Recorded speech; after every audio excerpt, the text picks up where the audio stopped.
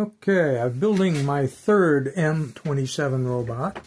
This time I actually printed the body with the portholes open so that I could put little maker bots inside. Let's rotate this around.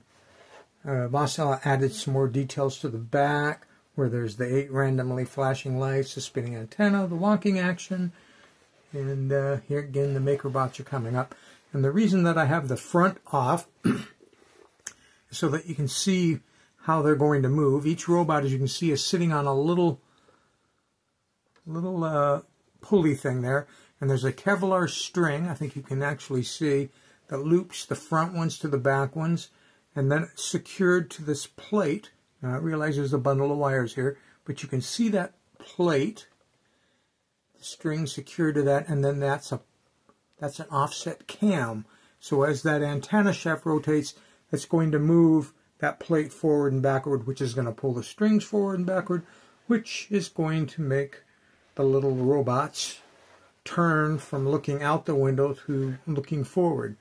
Now I'll turn this thing on, but uh, I don't know how well I'm going to be able to hold it and keep it from walking off. I don't want it to fall on the floor, obviously. So let's, uh, I'll hold it with my hand maybe so you can actually see. There you go. Yeah, let's take a look in the inside. So you can see how that uh, cam moves in there, which moves the strings, which uh, moves the robots. Of course, we've got flashing lights in the front. We've got got all the flashing lights in the rear.